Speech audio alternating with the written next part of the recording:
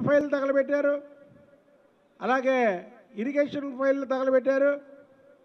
అలాగే ఇప్పుడు ఉన్నటువంటి ఏదైతే రవాణా ఏదైతే రవాణా శాఖలో ఫైల్ తగలబెట్టారు అలాగే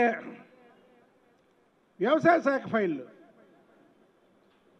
అనేక ఫైళ్ళు తగలబెడుతున్నారు. ఇది చూస్తూ ఉంటే రోజు తగలబెట్టుకుంటూ పోతూ దమ్ముంటే పట్టుకోండి.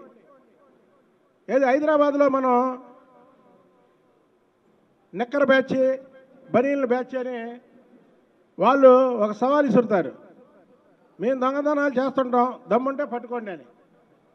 ఇవాళ ఫైళ్ళు తగలబెడుతూ దమ్ముంటే పట్టుకోండి అని ఛాలెంజ్కి వచ్చే పరిస్థితి వైసీపీ నాయకులు వచ్చారు. చంద్రబాబు నాయుడు గారు ముఖ్యమంత్రిగా ఆ పీఠం ఎక్కిన తర్వాత అక్కడ చూస్తే ఏ శాఖలో కూడా నీళ్ళు? అంటే శాఖలన్నీ కూడా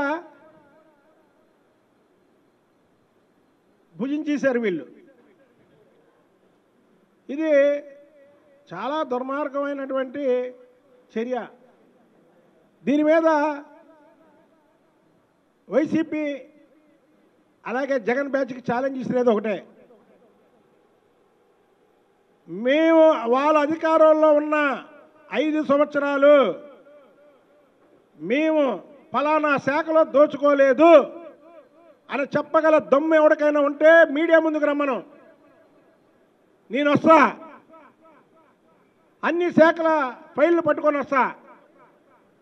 మీకు ఆ దమ్ము ధైర్యం ఉందా?